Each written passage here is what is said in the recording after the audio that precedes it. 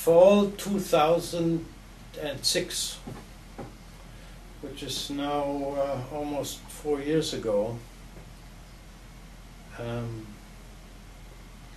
we had the first music class on campus. And Professor Dickerson was hired as a jazz pianist and as a music uh, professor who would teach fundamentals of theory and history of music. I think um, the Dean of Arts and Sciences at that time was keen on expanding the arts in the arts and sciences equation. The role that the arts play in the college experience for a young person. That role can be tremendous.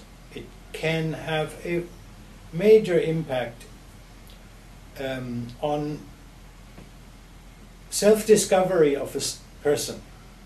I want this university to be the first one to offer a major in music and to offer a major in theater. Because in the long run, a healthy society must be invested in the whole gamut, the whole spectrum of professions.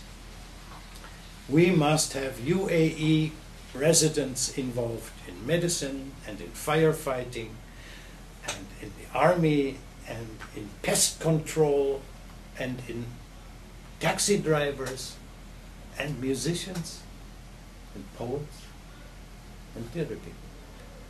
We must produce our own movies because only if the UAE produces its own cultural record can it protect its highly endangered identity.